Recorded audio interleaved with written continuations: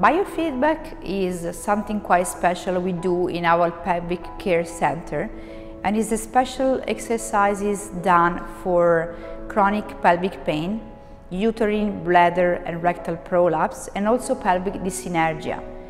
The patient that is coming to me is fully evaluated and then if he or she needs biofeedback, in the first session I'm explaining them the mechanisms of defecation and also how this biofeed biofeedback works.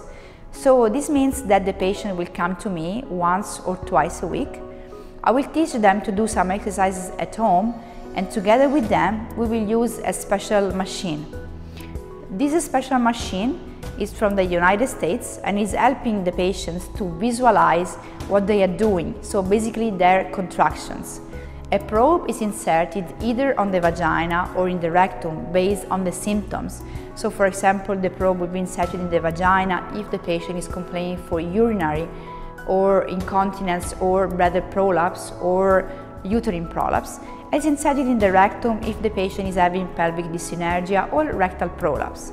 And this machine is telling to the patient how he or she is contracting the anal canal or the pelvic floor muscles.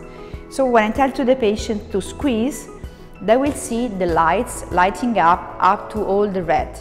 When I will tell the patients to relax, they will see the lights slowly going down to the orange.